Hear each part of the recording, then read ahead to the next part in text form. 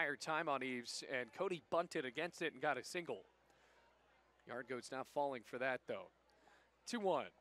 Swinging a high fly ball, shot out to left field. Rogers to the track, looking up, and that is gone.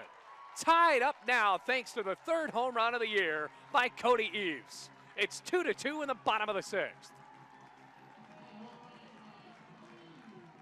He was due for one, and he finds it against Hartford.